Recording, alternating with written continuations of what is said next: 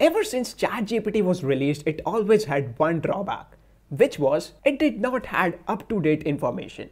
But not anymore. ChatGPT introduced web browsing and with the help of it, you can have access to the most up-to-date information or content but it's only available for the ChatGPT Plus or ChatGPT 4 users. Well, this opens up the world full of possibilities. Now you can run any prompt which made no sense before. You can do market research, content scripting, and many more. And today we are going to talk about web browsing in ChatGPT. But before we move forward, I would like to tell you that Be10x is an exclusive AI tool workshop. Do check it out, link is in the description. Well, ChatGPT launched this same feature in early September 2023 for every ChatGPT user.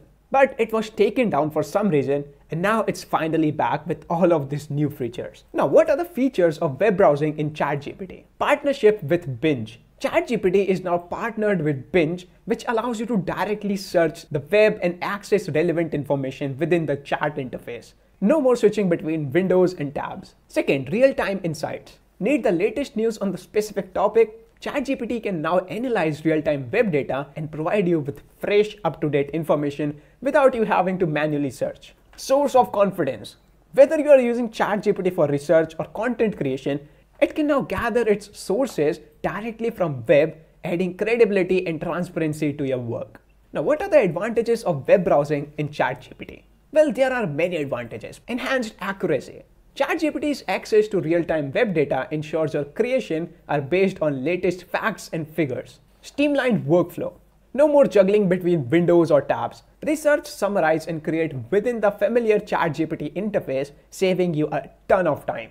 Stuck for inspiration, ChatGPT can use web browsing to explore related topics, finding unique angles, and ingest fresh ideas into your work. Now, getting started with web browsing is really simple. First, you have to navigate to ChatGPT's setting and enable the browse with Bing feature. And there you go, it's just that easy. But make sure you have ChatGPT 4 or ChatGPT Plus account. It's only gonna work there. Now, here are some of the prompts which were half-baked before, but now completely makes sense. But before I tell you about those prompts, I would like to warn you with something. See, AI is taking over the world. In such a short span of time, we have seen so many layoffs, millions of jobs being replaced by AI and whatnot. And you don't want to get affected by this recessive wave, right? Well, AI won't replace you. The people using AI will. If you want to save your job and become irreplaceable in your career, join our 3 hours of AI tool workshop in which we will teach you about the best AI tools to upscale, increase your productivity and enhance your career. Make your future secure with us. Join our workshop by clicking the link below. Now, the prompts which I'm about to tell you, you obviously need ChatGPT 4 to use them. But if you don't have ChatGPT 4, there is another way to access it, and obviously for free. To do that, what you have to do is you have to go to bing.com, which is obviously of Microsoft, and there, as you can see, it's written up there, chat with GPT-4, which means now there's a correlation between ChatGPT and Bing, which allows you to use Bing in ChatGPT and ChatGPT in Bing. But I'll recommend you to go with ChatGPT 4 because it has many more features, many more plugins than Bing could ever have. So my first recommendation is ChatGPT 4, but if you can't, then you can definitely go with Bing. For example, with the help of this prompt, you'd be able to write any advertising campaign for your product services to your targeted audience. But this prompt never made a professional or perfect campaign. But with the help of web browsing, what you can do is you can add your course link or your product link or your service link and ChatGPT is gonna go through your course, your product or your service and make a best script out of it with this basic prompt. Isn't it incredible? Now the next prompt is for content creators.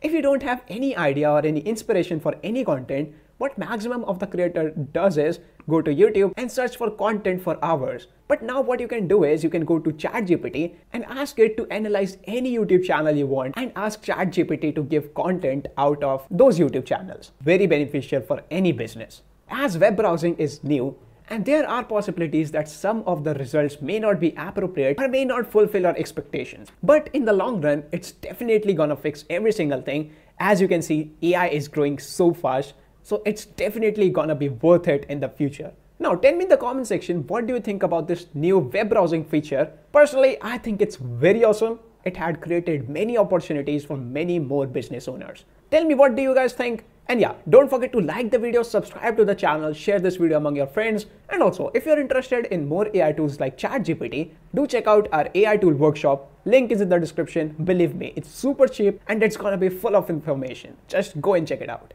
We'll see you there. Thank you.